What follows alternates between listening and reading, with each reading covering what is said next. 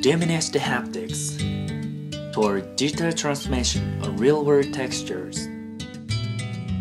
In the digital world, we can change the texture of the computer graphics easily.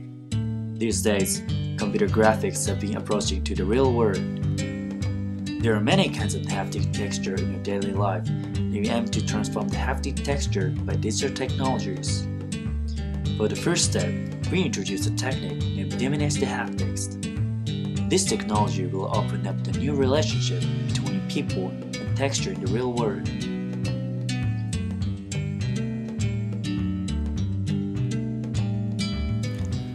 There are related studies which increase wet haptic feedback of smooth surface. Ultrasonic technology utilizes squeeze film effect. They change the friction of flat surface by switching the ultrasonic vibration to increase the texture. In this study, we aim to realize the inverse method.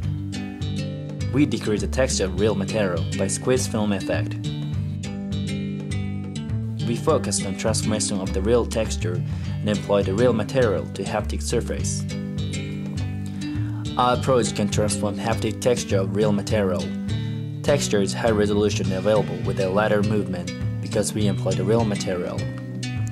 We employ real texture as touch area and a 28 kHz transducers to generate the squeeze effect.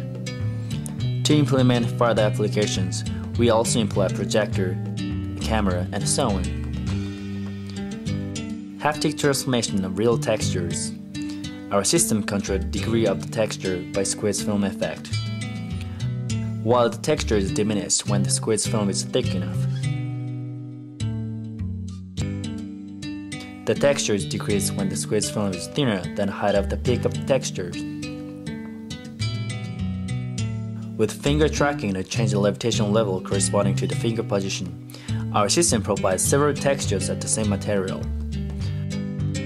Moreover, with projection, our system provides both visual and haptic texture at the same time.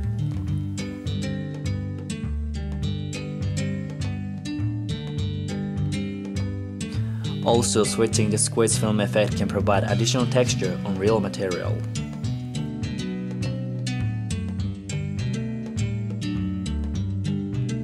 In this paper, we introduce the haptic transmission of real textures. It is inherently high resolution